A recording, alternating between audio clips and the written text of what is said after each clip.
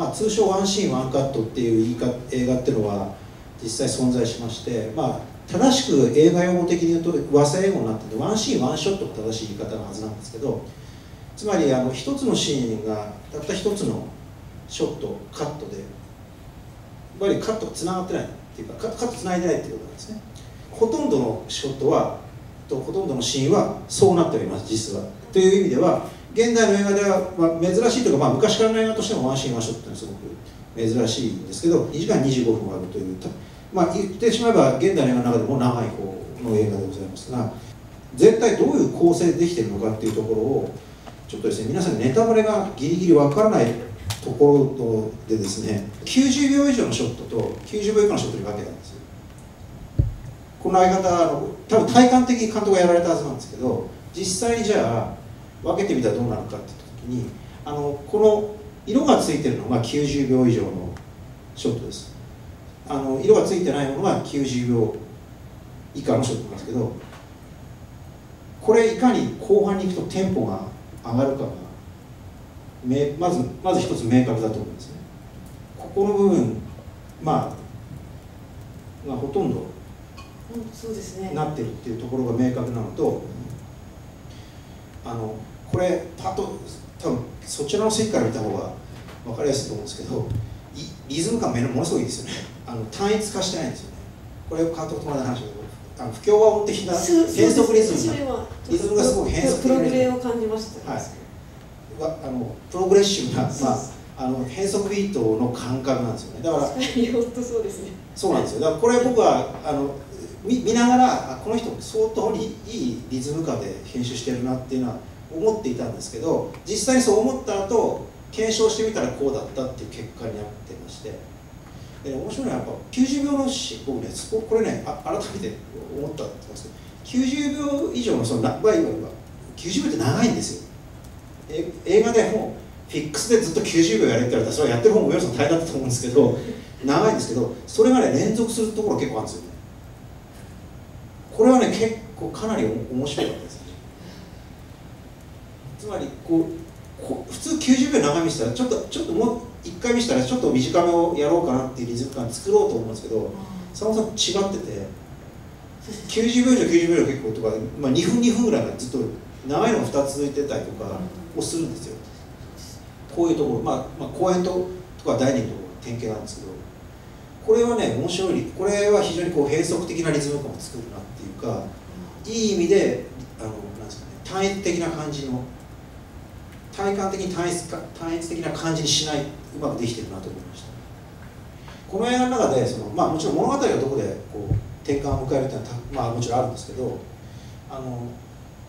必ずではないんですけどほとんどの人物はこの映画の中ではですね直線的に動くんですね。例えばこっちに向かって歩いてくもしくは向こうに向かっていく、まあ、よ横を切る。それから、まあまあ、縦横にしても基本的に直線的に動くんです。ね。このこのこの映画の中で。僕の中ではまあ完全そう見えてるし。っていう実際そのはずなんですけどところが直線的に動かないシーンカットショットがあってその時には何かが起こるんですよね。なるほど、はい、面白いですね。それ意識してなかったですか？してないです。ああだとしたらすごい素晴らしい感覚だなってんですけど。つまりですねあのちょっと鳥肌立ちます梅野さんこれこれ馬野さん梅野さんします？けど最初梅野さんこううろうろうろうろこう歩歩くわけですけどあのまあ予告でも出てきましたけど帽子こうダボールかぶってうろうろあるんですけどあそこも基本的に直線的ではあるんですよね、はい、こう行ったり来たりだけなんです。でそこからまたそのまあまあ帰宅するカットに行くんですね。でこれもまあ横切まあ駅前横切りとか向こうから、まあ、歩いてくるとかってなるんですけどところがまあここですね。トンネルまあ長い広告してますけど向こうトンネルがこう歩ってきて曲がるんですよ。曲がってゆかりにあるんですよね。でこのいわゆる曲がる瞬間に何かあるんですよ。この映画の中って。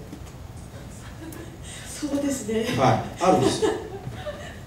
でここはでこれすごいこれすごい大事なポイントえこの映画のすごく大事な肝のポイントで僕は本当これ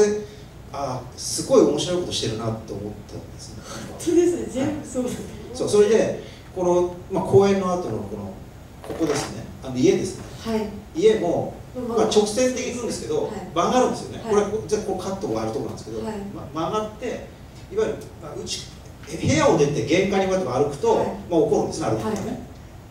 お起こりますよね、でこのね、まあ、でこのえっ、と永田とゆかりが初めて永田がちゃんとはい。本屋のシーンですね、あそこも、ま、曲がるじゃないですか。曲がるというか動きが直線的じゃないですよね。しかも曲がるだけじゃ登るんですよ。ね、はい。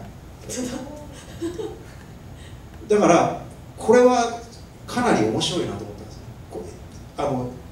リズム的に言っても単一ほとんどの動きが動きがすごく単一化してるんですよでもっと言うと公園のシーンっていうのはもっともっと複雑に動くんでここすっごい大事なシーンじゃないですかとはいそうです。公園のシーンはもうものすごいもももっと複雑にいろんな いろんな動き方をします。ああの特に梅野さんがものすごい動き方をしますから、はい、でねこの人が直線的じゃなくていろんそのアクションのバリエーションが増える時っていうのがこの映画の中ですごく何かが起こると思うんですよ。あここもそうですよね。この会社に行って倉庫に行く時もはい。バスが歩ってきてはい曲がって開けるとはい。倉庫ではいそこでまああることがあるんですよね、このこの映画の中でですからひ人が直線的に動かないっていう瞬間が決定的なことがあるかありそうに思えてる瞬間なんですね。ここすごい面白いなと僕は思ってまして。まさに物語じゃなく目で見てわかる。あこれから何かが起こるっていう瞬間がドキッとする瞬間があるんですねここには。でそれはそんなに多くないんで実は。そんな多くないですよね。そのほとんどの人 ほとんどこの映画の中でワンショットの中でこう動くかこう動くかみたいなこう感じの動きがかも動かないか圧倒的に多いんですよね。か動かないからですけど、だからこうまさにえあのまさにアクションで、まあ本当にね動きアクションで語られてるなっていうのはすごく僕の中でものすごくこの映画の一番のあの感動したポイントです